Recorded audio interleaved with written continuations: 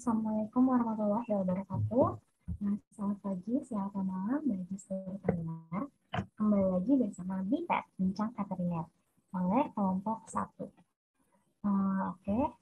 hmm, mungkin kita mengucapkan turut berbelasungkawa ya pada uh, apa bencana alam di Cianjur. Semoga teman-teman yang lain yang mendengarkan uh, itu berada dalam lindungan Tuhan ya dan keadaan sehat selalu. Oke, jadi uh, kita kelompok dua, uh, mungkin teman-teman um, ada yang masih ingat, ada yang lupa. Kita akan memperkenalkan diri lagi ya, biar memastikan kalau teman-teman masih ingat kalau kita. Oke, uh, yang pertama, uh, saya memperkenalkan diri dulu. Nama saya Rosita Amelia Dewi, NIM J031 520 1087 dan didampingi teman-teman narasumber dari kelompok yang lain. Yang pertama ada Kak Adi.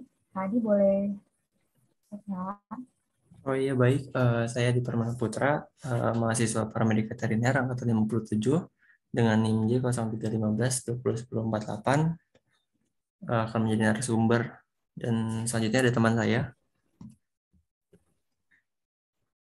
Uh, perkenalkan nama saya Dimas Raihan Saputra dengan NIM J031520103030. Uh, saya di sini sebagai narasumber juga.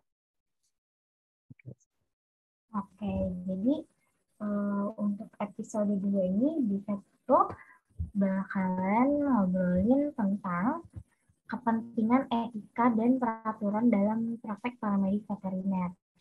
Uh, sebelumnya kan kita udah uh, membicarakan topik yang mirip-mirip ya masih etika juga tapi dengan fokus pembahasannya lebih beda. Sekarang itu lebih ke kepentingannya etika dan peraturan dari praktek paramedik veteriner yang pertama eh, seperti biasa kita harus kenal dulu ya siapa sih paramedik veteriner yang akan menjadi uh, subjek obrolan kita hari ini. Coba boleh tolong dijawab teman-teman dan sumber? Uh, ya udah, mungkin saya dulu deh. Uh, kalau menurut saya, uh, paramedik veteriner itu yaitu orang yang mengikuti pendidikan sesuai standar nasional uh, dari pekerjaannya yang berlandasan uh, dengan etik profesi, yang di mana itu mengutamakan panggilan kemanusiaan daripada keuntungan. Nah, pekerjaan itu juga legal melalui perizinan. Jadi anggota-anggotanya itu belajar sepanjang hayat gitu. Nah, anggota-anggotanya juga bergabung dalam sebuah organisasi profesi atau yang biasa dikenal sebagai PAVETI. Uh, mungkin sekian ada dilanjutkan oleh uh, Kak Dimas. Oke, mungkin saya sedikit menambahkan ya. Jadi uh, para medis veteriner ya, uh, mungkin para medis veteriner itu orang yang berprofesi di, di, di paramedik, yang di mana itu bidangnya itu veteriner hewan.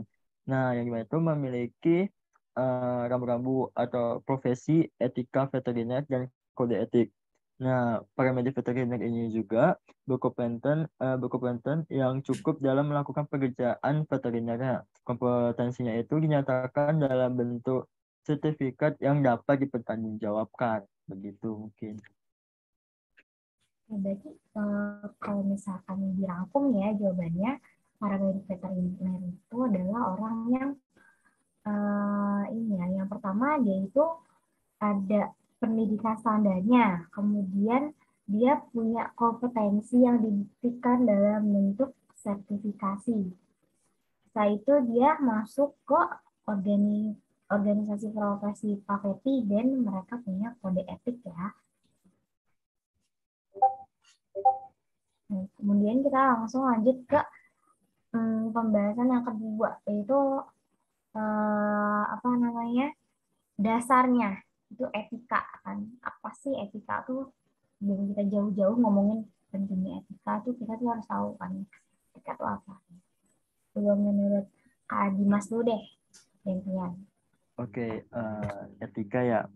Apa itu etika nah kalau menurut saya itu etika itu sebuah karakter atau watak uh, seseorang atau juga kita biasanya itu sebutnya self control yang gimana itu segala sesuatu yang dibuat dan diterapkan dari dan untuk kepentingan kelompok sosial uh, profesi itu sendiri. Jadi uh, karakter yang di mana itu kita realisasikan uh, untuk kepentingan profesi itu sendiri gitu. Uh, baik, mungkin saya mau tambahkan dikit aja nih. Jadi kalau etika itu dirupakan dalam bentuk aturan atau kode itu tertulis yang uh, secara sistematis gitu. Jadi etika itu dibuat berdasarkan prinsip-prinsip uh, moral yang ada dan pada saat yang dibutuhkan tuh akan bisa difungsikan sebagai alat untuk uh, apa namanya menghakimi dari segala macam tindakan yang uh, secara logika atau rasional umum uh, atau dikenal sebagai common sense uh, dinilai uh, menyimpang. Berarti uh, tidak lain ya etika itu adalah aturan perilaku ya atau kebiasaan manusia dalam pergaulan untuk menegaskan yang mana yang benar dan yang buruk. Kita samakan persepsi ya. Kemudian kita masuk ke pertanyaan utama sesuai dengan judul, sesuai dengan thumbnail. Penting nggak sih beretika dalam profesi itu? Uh, ya etika itu uh, penting banget sih karena etika juga berarti kan uh, tanggung jawab gitu ya. Jadi uh, bagaimana kita bertanggung jawab uh, dengan rekan kerja dan juga pengguna jasa dan uh, itu juga memberikan semacam eh, batasan-batasan uh, maupun standar yang akan mengatur uh, dalam pergaulan kita dengan rekan-rekan kerja kita gitu. Hmm, iya benar, mungkin saya menambahkan sedikit ya. Jadi etika dalam pekerjaan itu penting karena uh, dengan etika kita bisa mengatur standar mengatur standar sikap kita dalam bekerja dan konsekuensinya itu yang akan diterima dan uh, kita ikutin juga. Nah, apalagi etika profesi itu kan juga dibuat oleh si pemilik uh, si pemilik profesi itu juga dan pasti relevan dengan dunia kerjaan uh, si profesi uh, si profesi itu juga.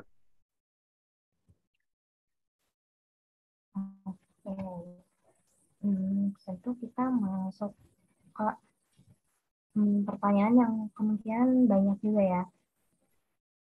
Dan wajar ini pertanyaan yang kayak mungkin aduh ya Allah adik kok katanya gue nggak tahu gue lagi menurut uh, Kak Adi nih tadi kan jawabannya tuh uh, langsung gitu. Penting nggak langsung jawab penting gitu kan.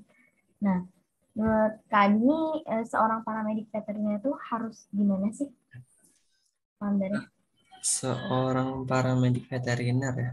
Uh, kalau menurut saya sih seorang paramedik veteriner itu harus uh, semakin meningkat dalam memelihara dan menjaga kesehatan hewan serta pengamanan produk uh, sehingga masyarakat dijamin aman dan juga nyaman gitu dari akibat yang ditimbulkan oleh hewan maupun uh, dari produk hewan gitu. Nah, paramedik veteriner juga merupakan salah satu unsur pelaksanaan teknis yang harus siap eh, berada di garis terdepan pada unit-unit pelayanan setiap eh, apa namanya pembinaan kesehatan hewan secara maksimal gitu yang di tingkat nasional ini di Indonesia. Hmm. Tadi kan udah disinggung ya pembinaan kesehatan hewan nasional atau Sesdin Kesonas ya. Tapi dalam sistem ini tuh paramedik veteriner kan merupakan salah satu unsur pelaksana teknis ya kan yang tadi disebutkan harus berada di garis depan pada unit-unit layanannya. Bisa sebutin nggak sih uh, apa aja sih yang maksudnya garis-garis terdepan tuh? Mungkin tadi Mas? Oke, mungkin uh, saya menjawab ya.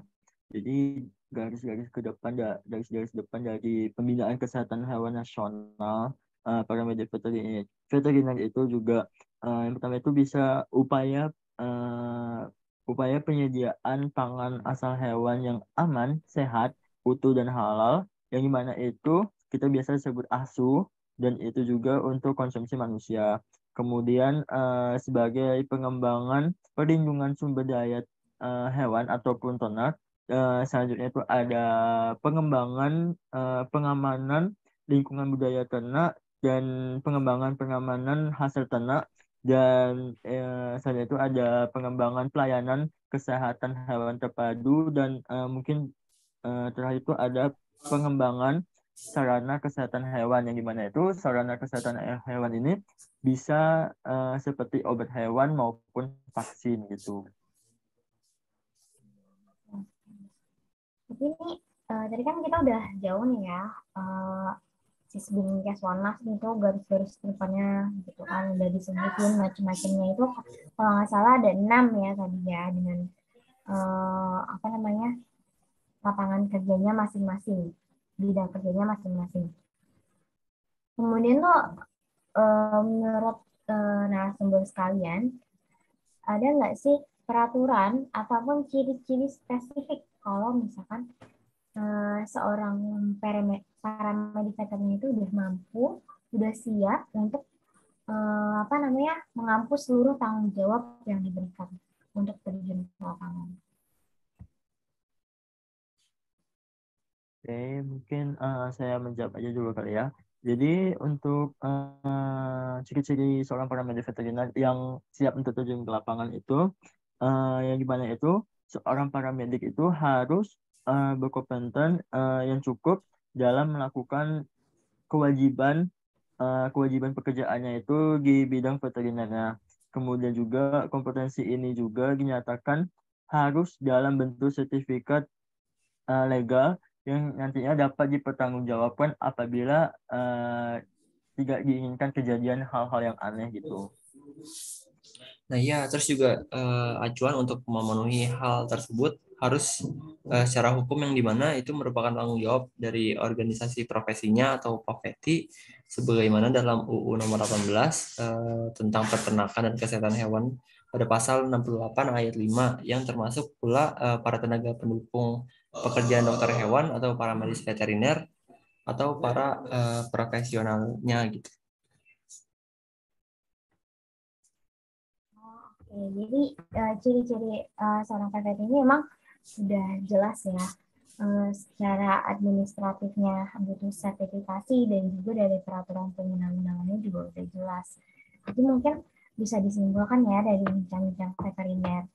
Episode kali ini itu mengenai uh, pentingnya etika dan peraturan itu memang melekat pada uh, seorang diri paramedik veteriner karena sebelum dia menjadi seorang PVT yang siap terjun ke lapangan, dia harus mengikuti jenjang pendidikan yang telah ditentukan, melakukan sertifikasi, kemudian bergabung dengan organisasinya, dan juga ada kode etik yang harus mereka jaga. Jadi memang uh, etika, peraturan, dan praktik itu berjalan bersama agar kita semua punya standar untuk melayani masyarakat.